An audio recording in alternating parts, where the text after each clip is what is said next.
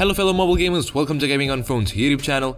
If you like racing games as well as games like Angry Birds, then today's news is only for you because Rovio Entertainment recently announced a soft launch of Angry Birds Racing for Android devices only. And if you're loving our daily updates like this, make sure to give the video a thumbs up and subscribe to the channel so that you don't miss any future updates. And for now, let's dive into today's video.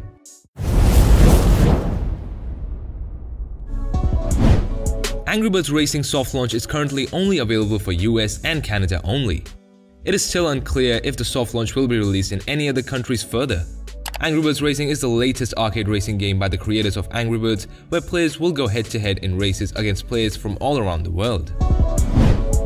Angry Birds Racing is a fast-paced 2D arcade racing game that will feature almost every one of the Angry Birds from the series of games. Players can also pick and race as the infamous pigs from the Angry Birds games. Players will have to pick from these characters to race with other players from all around the world. Angry Birds Racing also features a multiplayer option for the players to be able to race with their friends together.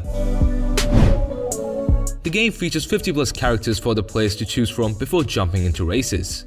Among the characters, we can find our favorite Angry Birds characters like Red, Chuck, Bomb or even Leonard. All the characters will be completely customizable for the players.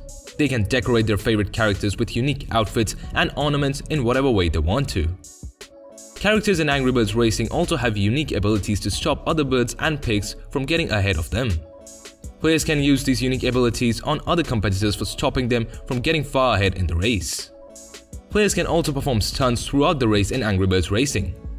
They can jump and do flips while being in the air on the corners and bumps of the spectacular tracks on which they would be racing. Finishing a perfect landing after jumping and flipping in the air will offer the players a speed boost to get ahead of other players. The developers have also announced the arrival of new features soon in the game. An exciting weekly event feature with unique effects will be introduced to the game very soon. A World Tour mode is also going to be released very soon in Angry Birds Racing. No information regarding the official release date of Angry Birds Racing was shared by Rovio Entertainment players will have to wait longer for receiving any information regarding the official release date of the game. That's what we knew so far about the upcoming title.